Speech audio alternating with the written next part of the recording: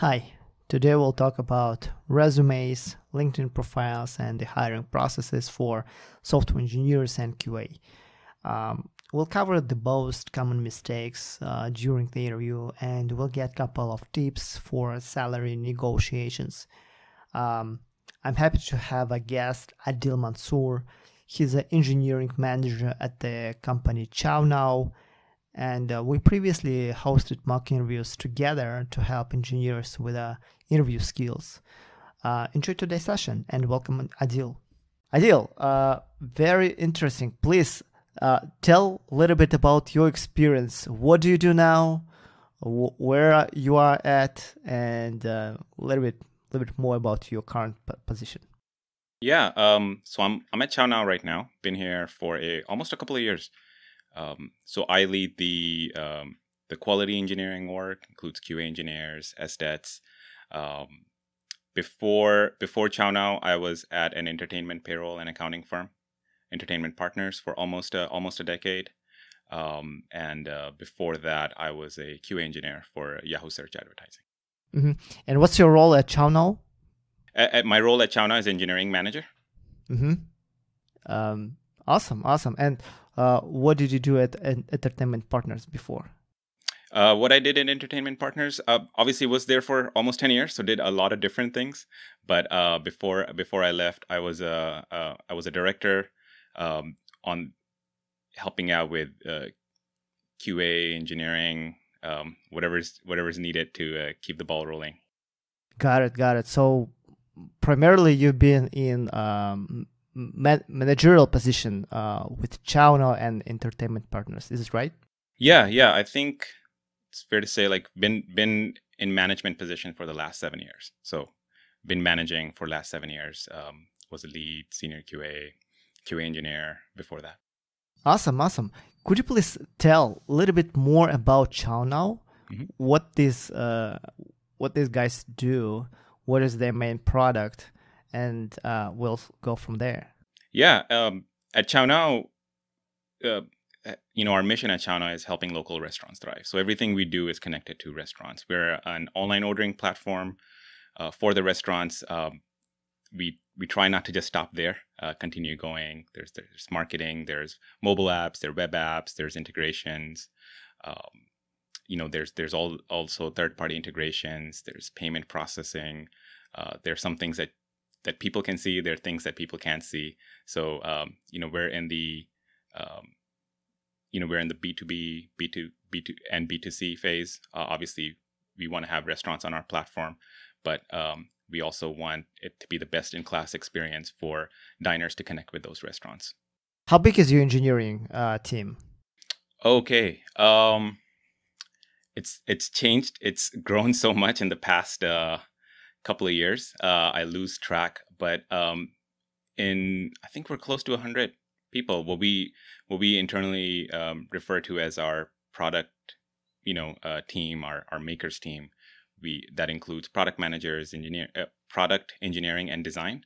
Uh, we're up to 100 people, uh, and okay. you know all the other disciplines required to you know ship software. Awesome. How about uh, QA department?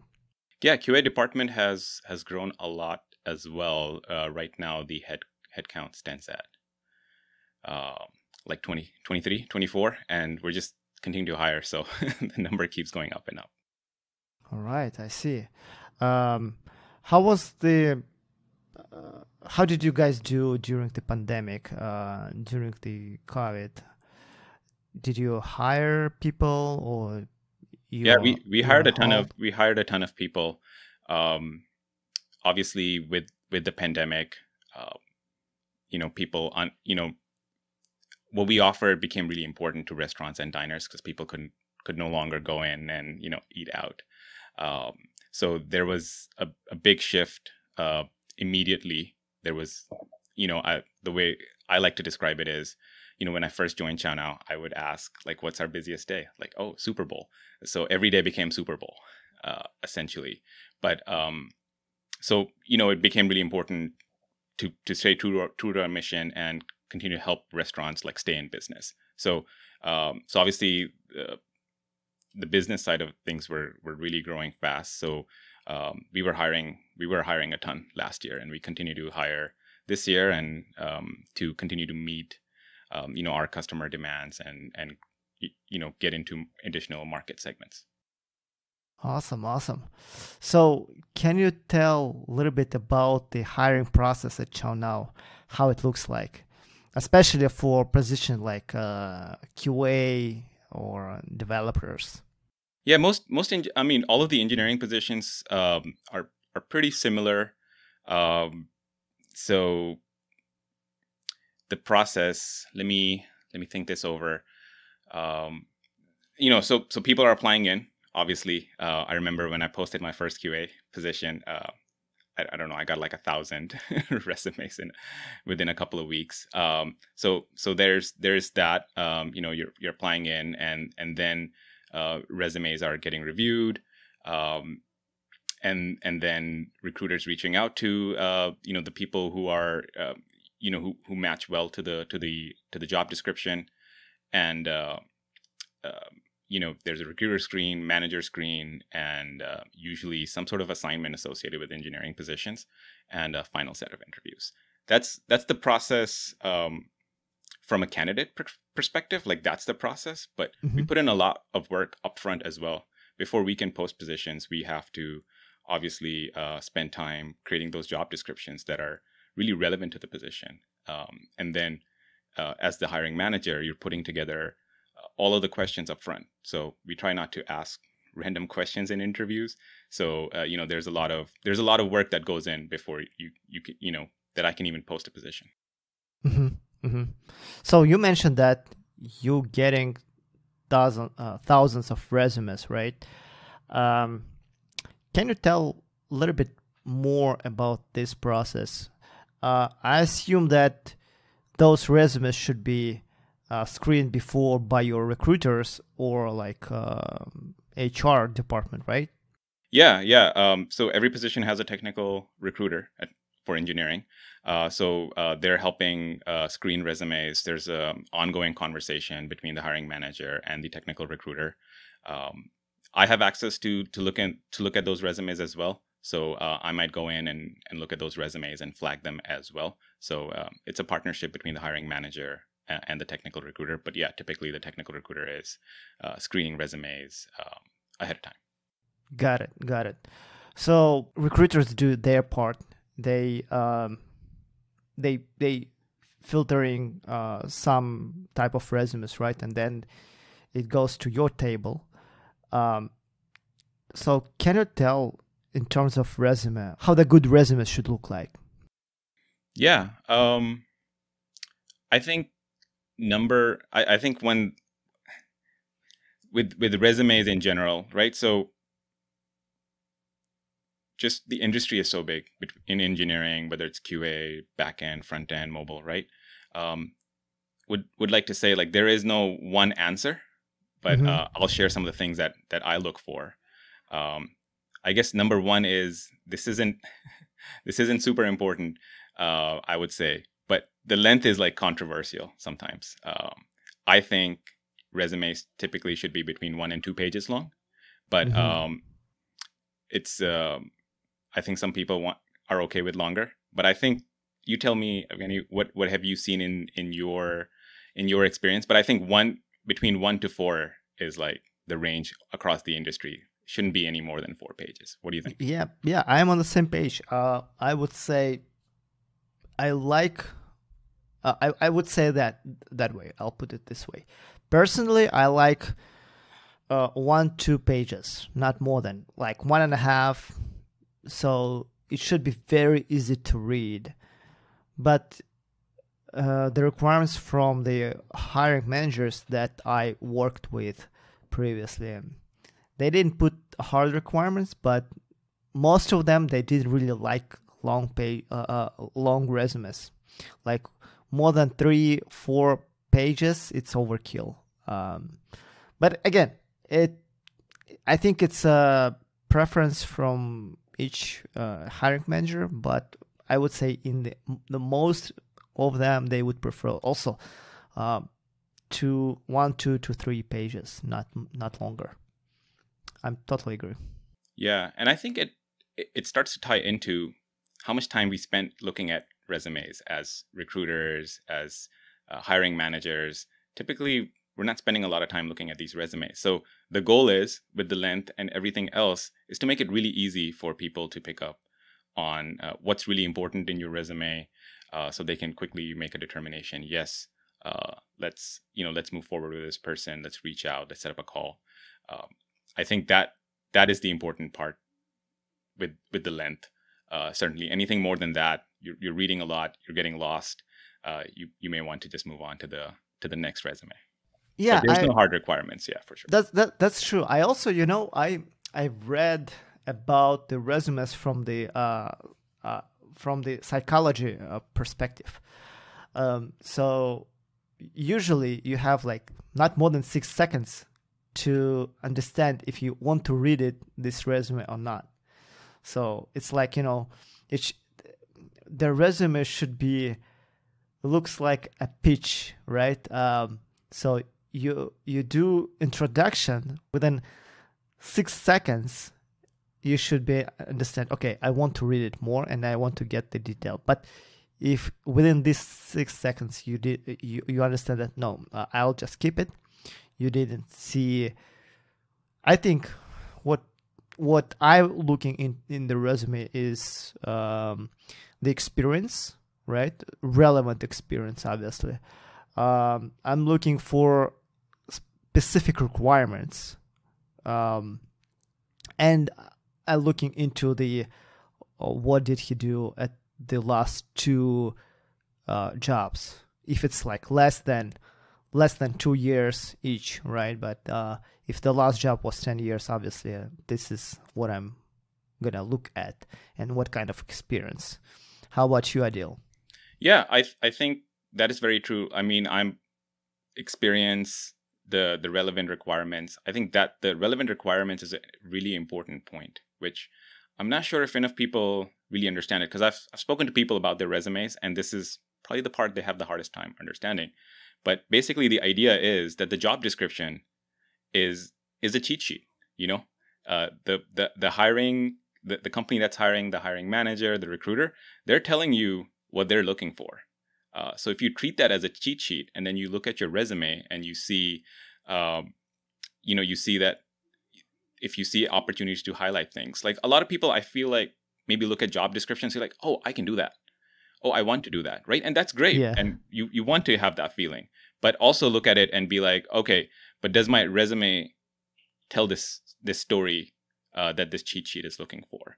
And if it doesn't, uh, just update to highlight those things. Uh, just to give you an example, would be um, let's say something like, oh, let's say I'm applying for a position that uh, is mobile based, right? So they talk about HTTP uh, uh, proxy tools, right? Mm-hmm. And maybe it's just a single word on my resume, like under skills, it says, um, you know, something like, uh, what's a popular HTTP proxy tool? I'm, I'm Charles. Char- Charles Proxy, right? So it just says Charles Proxy. It doesn't give any.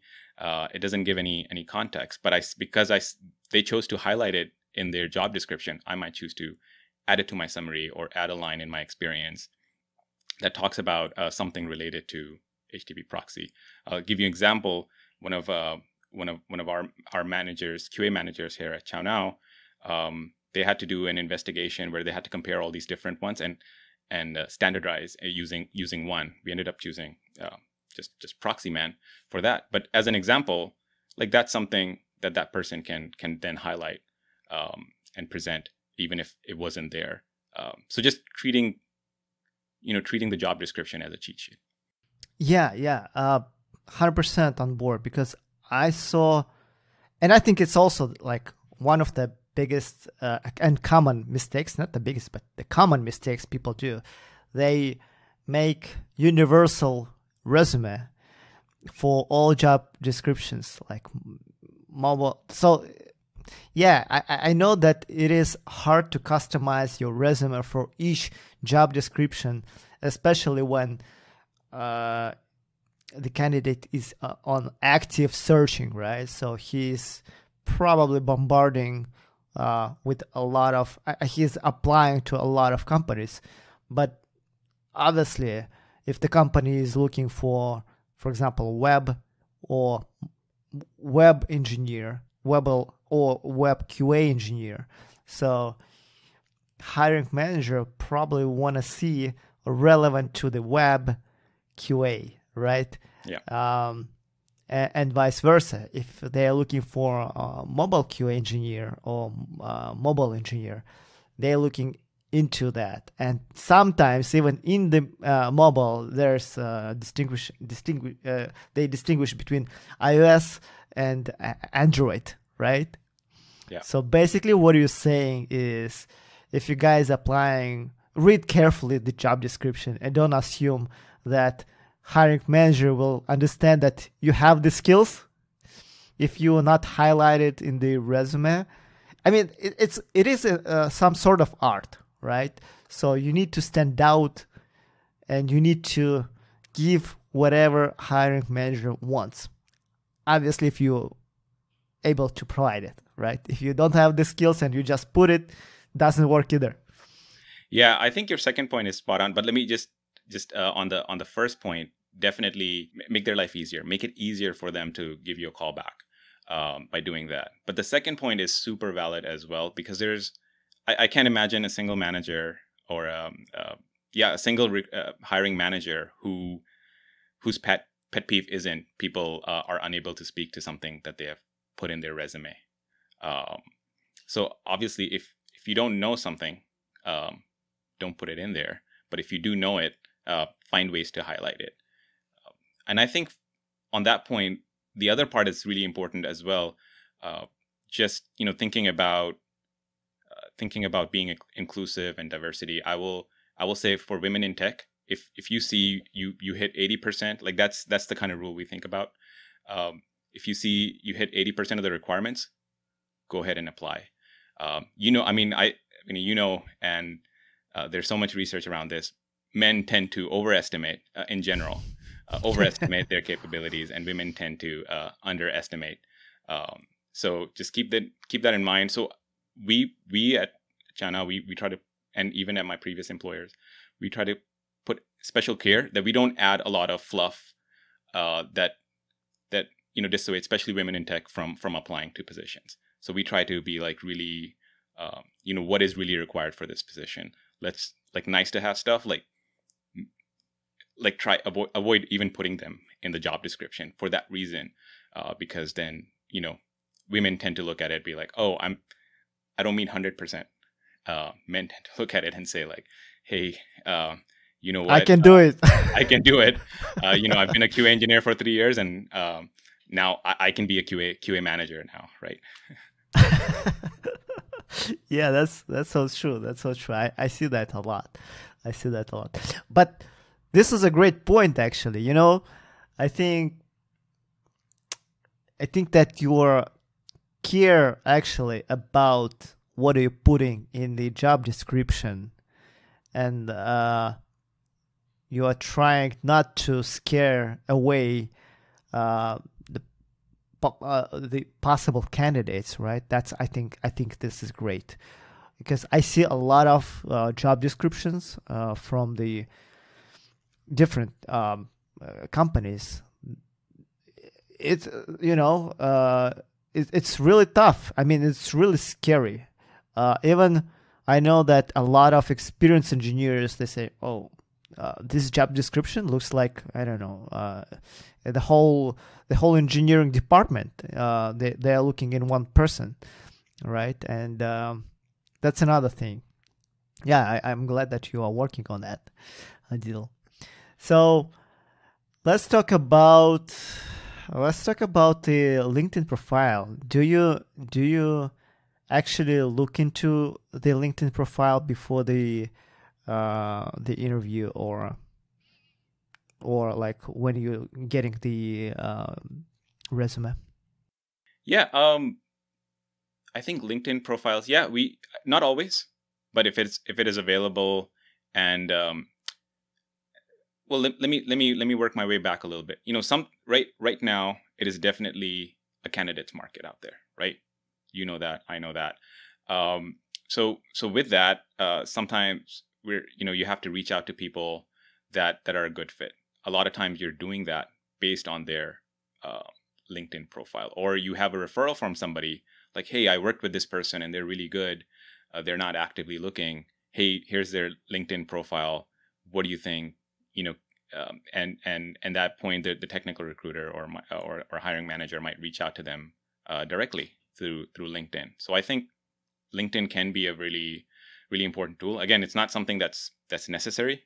Uh, a lot of people get you know get jobs every day uh, in in engineering uh, without having a LinkedIn profile, but I think it just it's it's it's a little it's very little effort uh, to to get something out there and then perhaps even further down the line when there are panel interviews it can make it really easy for people to just uh, you know um, to, to look at your experience at a, at a high level. So i think i think it's good to have. Uh, it's not necessary but it's good to have. You know i just talked to uh, just yesterday i talked to my friend. He's a senior qa automation engineer. Right now the market is super hot right? Yeah. and uh, so he said that right now he's getting all requests just in the LinkedIn. He didn't post any resumes. He getting five to six interviews a day. He moved from Bay Area to um, to Irvine, and uh, he's in active search. So he said that every day he has six scheduled interviews, not with the recruiters, with the hiring managers. You know, this is crazy and uh, I think yeah, if you guys don't uh, if you guys don't have LinkedIn, you should have it. If you have LinkedIn, what ideal you think should be in there? Like uh, if you look into the LinkedIn profile of the potential candidate, what I would say what would be a, a good LinkedIn profile versus not good. Yeah, I mean, I would say mine isn't super great, but um, but what helps is uh, a couple of things as and, and you can probably talk more about this but as as you're looking through them uh, especially in the sort of recruiter view um, what you see is um, I, I, forget what's ex- exactly called in in linkedin like your like ty- a small small description next to your name.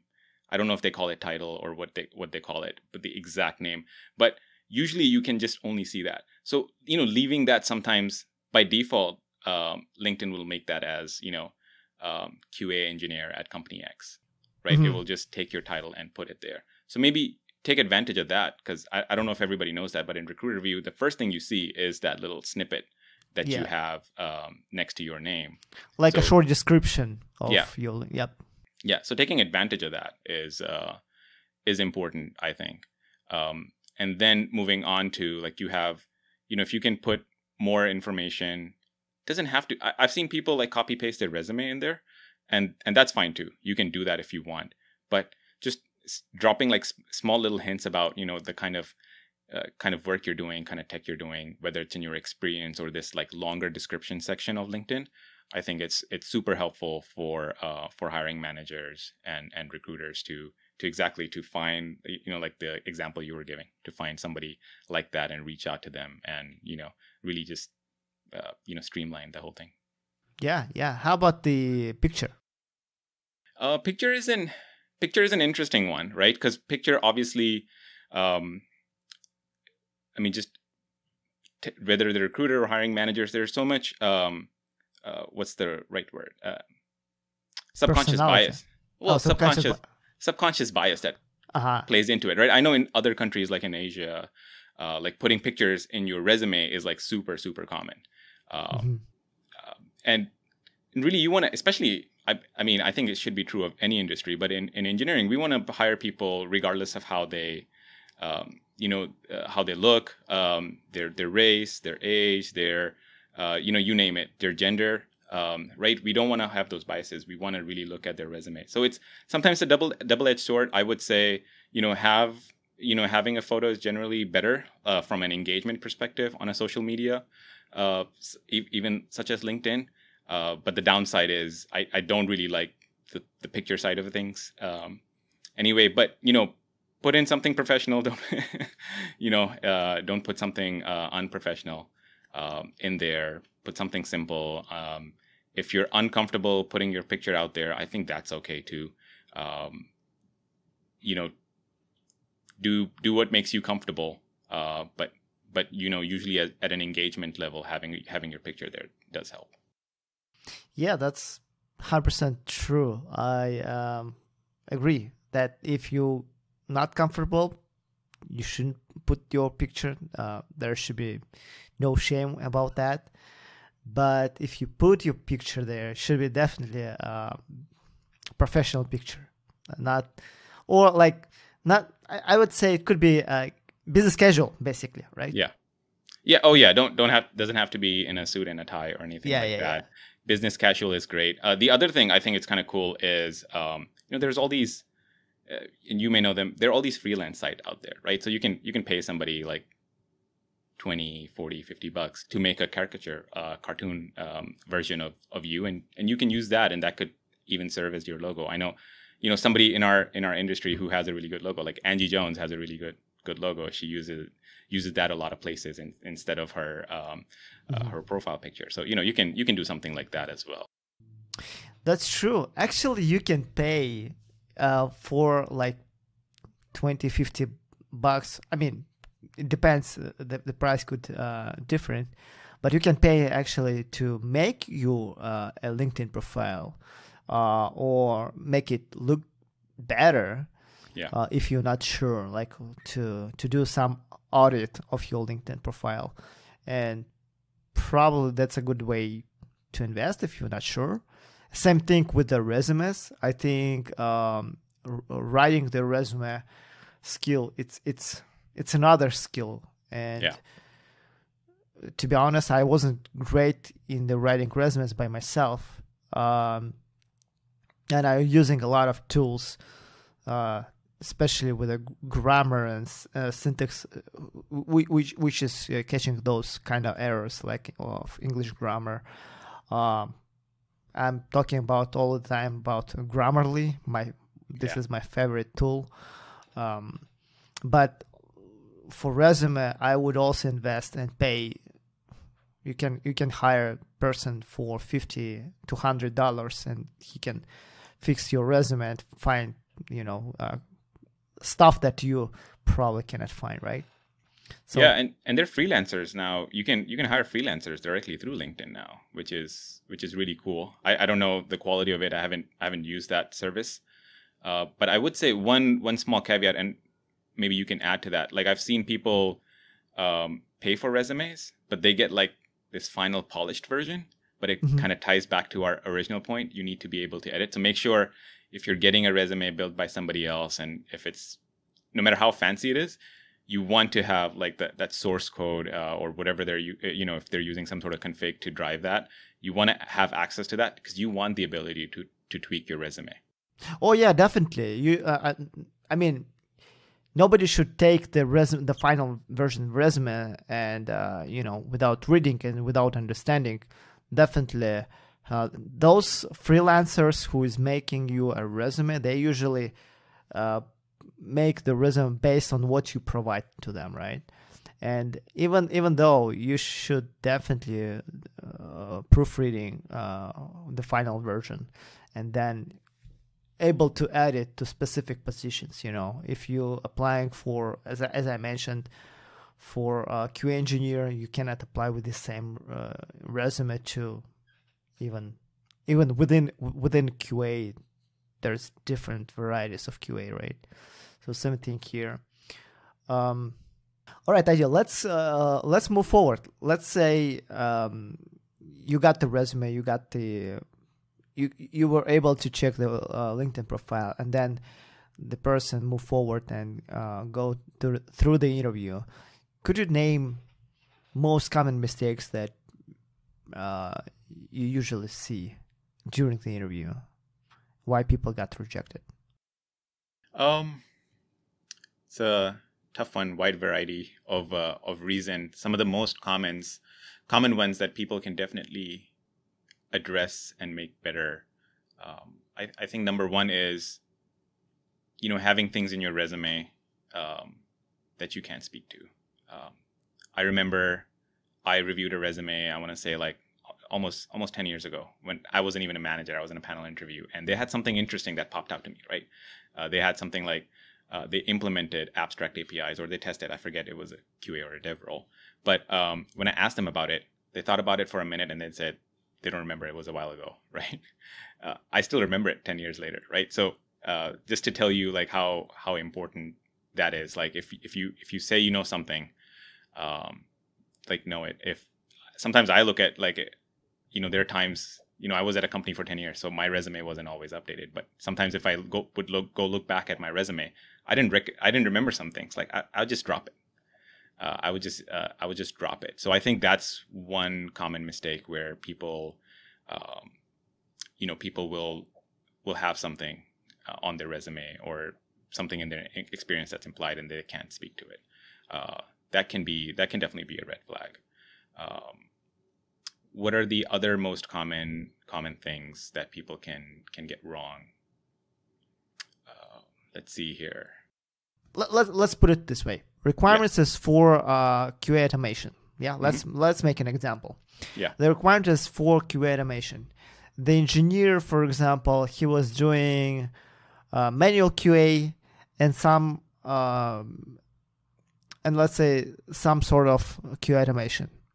Uh, but he put it in the resume that he was doing the qa automation right? And during the interview you discovered that well actually actually he was not doing this all the time. So when do you think it's good to put something that you're really strong with and you are not really strong with? So there should be kind of line right? Yeah i think that's an excellent point. Um what what is usually like if if there's something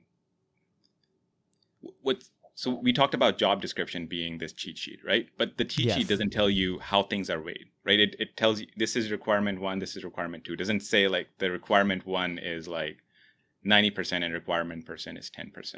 So uh, you really, you really don't, uh, in some cases, you really don't understand. But I would say, uh, if if you have a lot of things like that, where or if you even have a few things where you have exposure but you're not really uh, comfortable with, maybe you know, maybe consider putting it in in a section where um, you know something you want to do in the future or something you want to do more of. Um, is, is is a recommendation I've seen before uh, from other hiring managers. I've never seen it in practice uh, on mm-hmm. resumes mm-hmm. ever. Um, so I think that's a that is a really tough one. When should you put it in? Right? If you think this is I think it's it's the self awareness. If you think it's something important within your field, if you think a lot of jobs are looking for, it, invest in learning that thing. I would say uh, is more important. Um, there's so many different tools out there to to learn those things, and and you can put them as a, you know a side project or something else on your resume, and that will still resonate with a technical recruiter and hiring manager.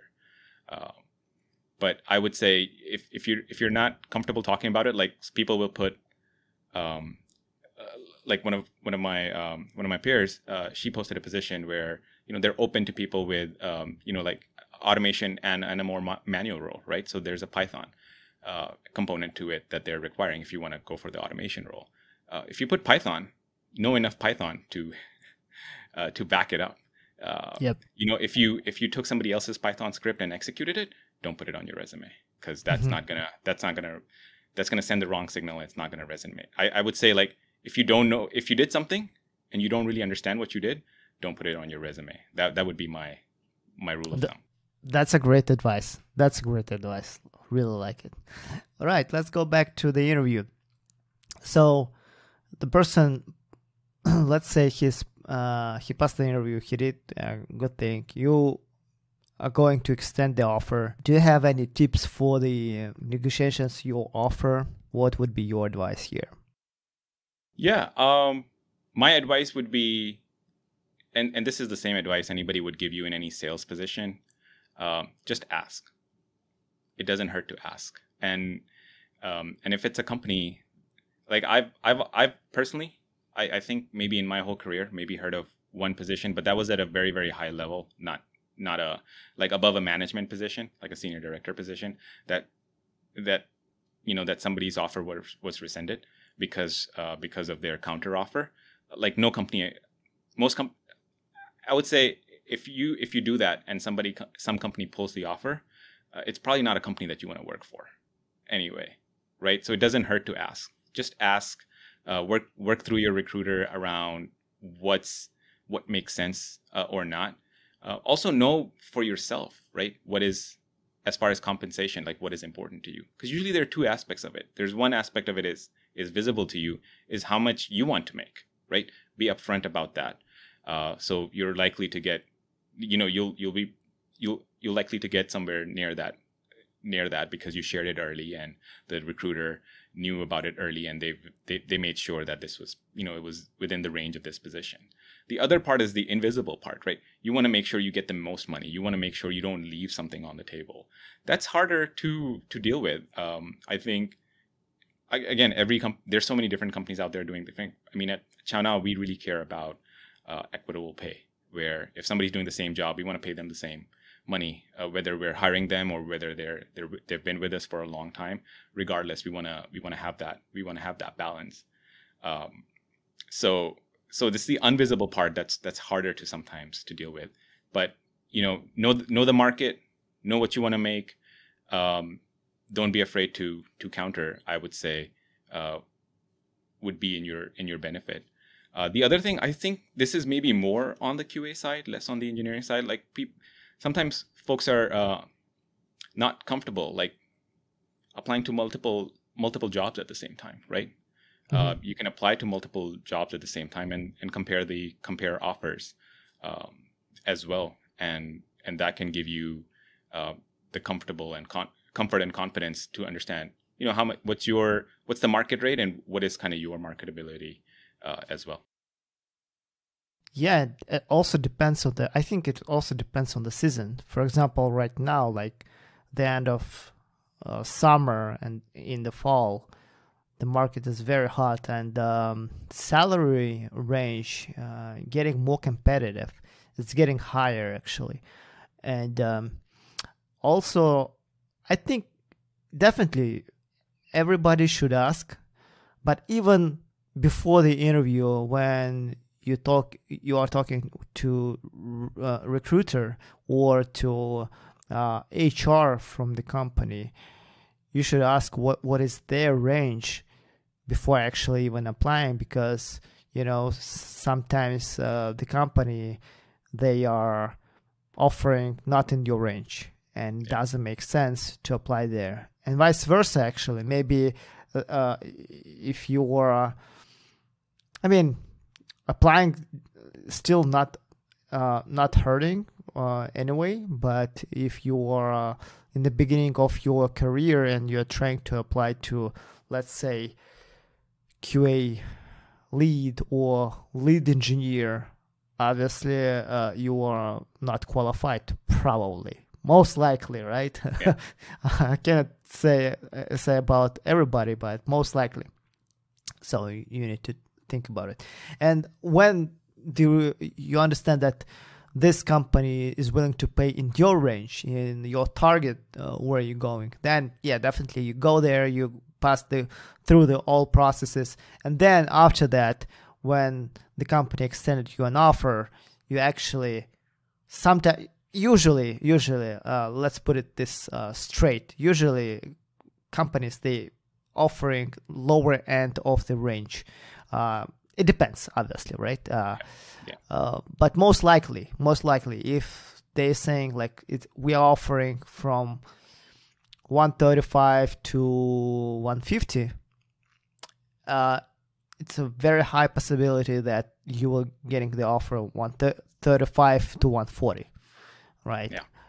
However, if you are like the top guy, like you're expecting all their expectations and you're exceeding the, all their expectations, they yeah. probably will offer you on the higher end, but it's usually not the case.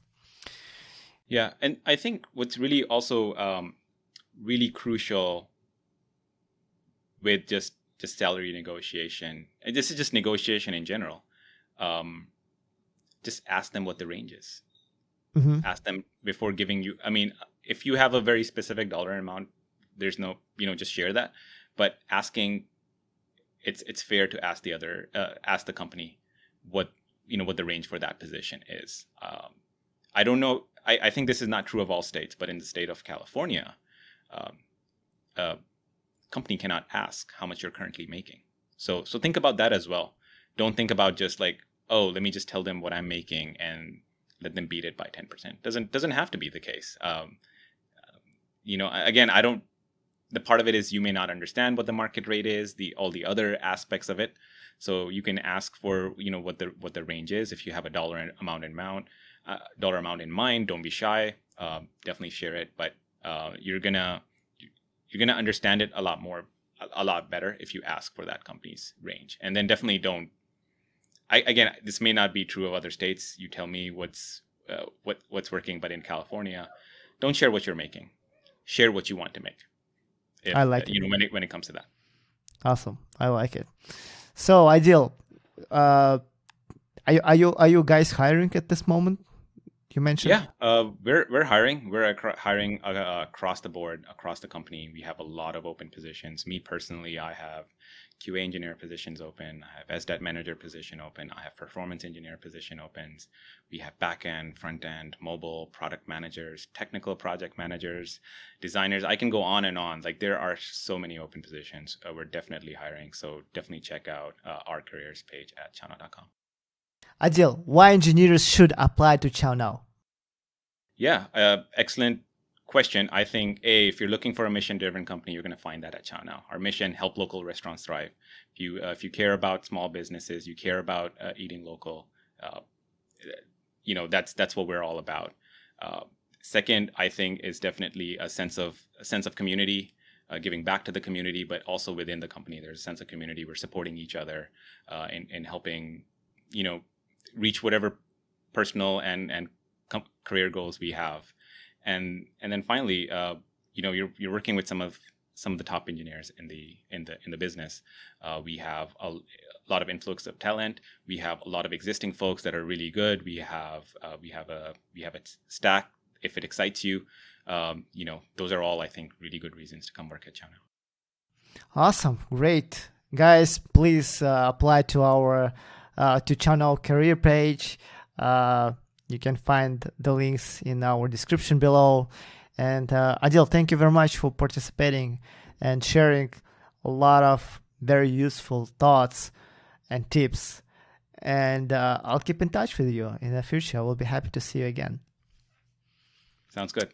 Glad to be All here. right. All right. Bye. Thank you.